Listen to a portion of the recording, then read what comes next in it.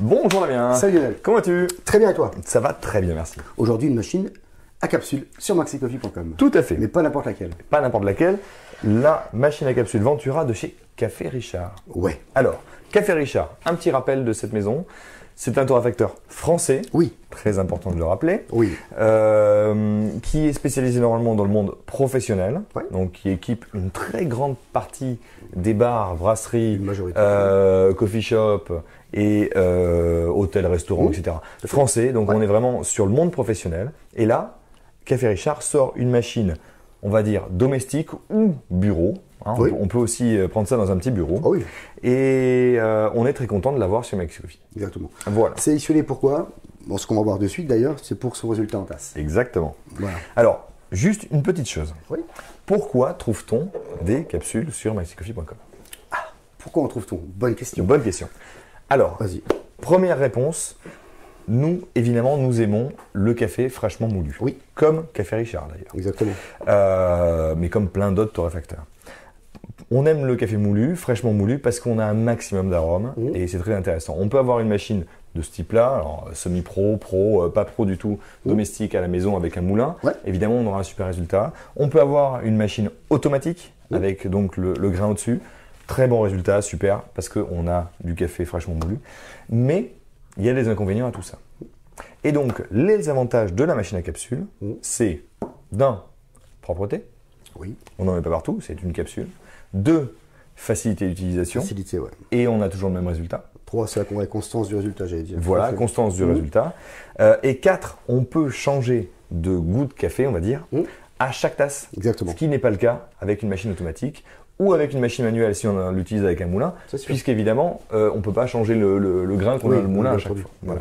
Donc la machine à capsule, c'est un mode de consommation à part et qui est tout à fait respectable. Et qui est J'arrête mon monologue et maintenant on va pouvoir goûter le café. Parce que là, j'allais dormir un petit peu. Oui, c'est ça, c'est ça, plaisante. tout à fait.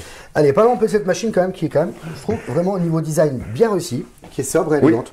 Alors, euh, noir laqué, noir brillant, on va dire, hein, Oui. donc sur les côtés, le dessus. Euh, le réservoir situé à l'arrière. Donc bien sûr, soit on le remplit ici, ou on le retire Ou on le pour le Tout remplir. à fait. Qui a une contenance tout à fait suffisante. Tout à fait, Rappelons-le. exactement. Le, ici, on a un petit levier en inox du plus bel effet. Oui, très beau. Très très belle finition, je trouve. Ça fait vraiment sérieux. Voilà, Oui. ça fait solide. Ici, euh, le contraste avec les touches bleutées, je trouve ça super aussi. Alors, touche rétroéclairée, ce sont des petites LED qui sont derrière. Ouais. Donc c'est vraiment très joli. Très joli. Et en plus, bien sûr, volumétrique. Volumétrique, on peut choisir, bien sûr, la quantité de café dans sa tasse. Exactement. Et on peut le reparamétrer très facilement. Exactement. Voilà. Moi, je te propose déjà de goûter un espresso. Allez, allons-y. Allez, donc tout simplement. Alors ici, donc pour l'instant, on a trois cafés qui sont disponibles. hein. Tout à fait. Euh, donc un café donc qui s'appelle donc numéro 1 chez eux, espresso, numéro 3 espresso intense, numéro 6 le déca. Tout à fait. Donc chacun Voilà. trouvera son Alors, bonheur. le numéro 1, on va dire qu'il va être plus léger que le numéro 3. Et le numéro 6, c'est le DK. C'est ça. Voilà. Allez, on y va. Je te fais C'est celui-ci. Donc simple, hein. Hop, on appuie, c'est fini. Et c'est parti. Alors, par rapport. Il faut, quand on parle de machine et capsule, on est obligé de parler de Nespresso. L'espresso, c'est eux les précurseurs dans ce domaine, donc Exactement. Donc, euh, Nespresso est une société euh, sans problème avec des, des, cap- des capsules qui existent. On n'en parlera pas parce que c'est pas notre notre euh, euh, notre discours du jour. Oui. Chez, si on fait un petit, un petit comparatif avec Nespresso, parce qu'on est un petit peu obligé, on va avoir chez Richard une.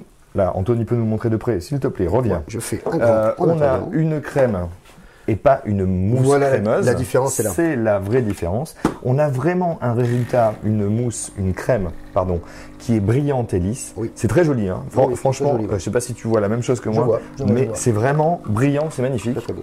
Euh, et on a donc un résultat en test qui va être normalement, on va le vérifier Là, encore une fois, hein, sur l'espresso, on a ce mélange effectivement de mousse, mais plutôt fine quand même, plutôt fine, mais mélangée avec la crème. Voilà, parce que là, on est vraiment sur du 100% crème.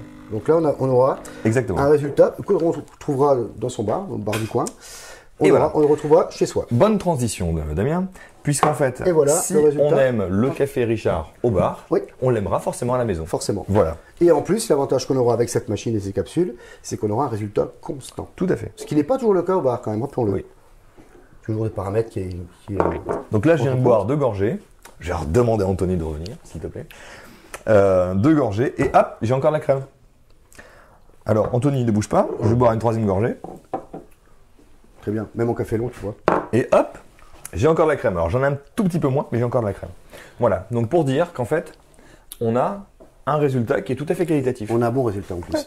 Euh, honnêtement, pour des capsules, hein, c'est quelque chose quand même que nous, comme on vient de le répéter, hein, plus café en grains, frais etc., etc. Le résultat est franchement très bon. L'équilibre est parfait, je trouve des saveurs déjà sur ces cafés-là. Mhm. Le déca, j'ai encore pas eu l'occasion de le goûter. Eh ben écoute, on y va. Allez, c'est parti. Allez, on y va. Allez, on va goûter le, le déca. Je vais le faire en cours. Allez, go. Mais l'équilibre, je Toi, sais pas tu, si tu es, un- avis. tu es un consommateur de déca, euh, Le soir. on va dire, le soir. Le soir, beaucoup, Moi, je n'en bois jamais, donc tu vas pouvoir, Ouais, toi, avoir une expertise là-dessus.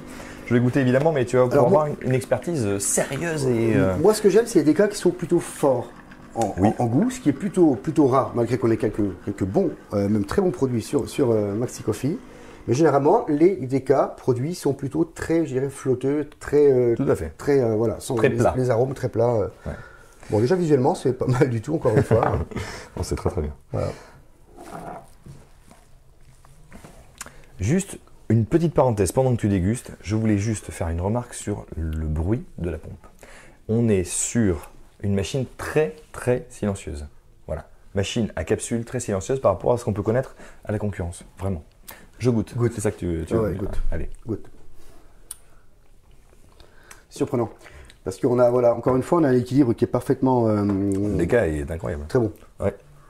Une petite pointe légèrement fleurie sur la fin, qui est euh, plutôt agréable. Une petite force euh, également. C'est très agréable. Très, On n'a pas l'impression de boire un déca. Bah, non, voilà. Hein, c'est pas plat. bah, ils ont réussi. C'est très quoi. goûteux. Ils ont réussi. J'en prends un petit peu. tiens. Super. En plus, ça va pas m'énerver. Ah non Non, non, non. Alors, et, attention, une, précision, on l'a pas- on l'a encore pas dit. Ces capsules-là ne sont pas compatibles pour les machines Nespresso. Non. Attention, hein, c'est bien un format dédié à ce, à ce type de machine. Et non pas l'Espresso, ça ne passera pas du tout dedans. hein. Exactement. Voilà. Je pense qu'on a fait le tour de la question. On va résumer. Oui. Une machine qualitative, vraiment qui fait très peu de bruit, je le redis, Oui. euh, avec des matériaux bien choisis, avec un design élégant. Euh, un café qui est vraiment pas Bah, mal du tout. écoute, euh, Hein, très on bien, est sur un bon café. une- Toi, t'as un coup de cœur sur le décal. Ah ouais, d'accord, franchement, sur, Voilà. euh, étonné, étonné, Voilà. là, vraiment étonné. Si on aime les cafés Richard au bar, on les aimera forcément à la maison. Mm. En plus, tout le monde les connaît. hein. Euh, on est sur une torréfaction française, donc Ouais. voilà. Il faut le dire Et aussi, c'est très française. important par rapport à de la capsule, parce que j'en connais pas beaucoup qui sont de marque française. Ouais.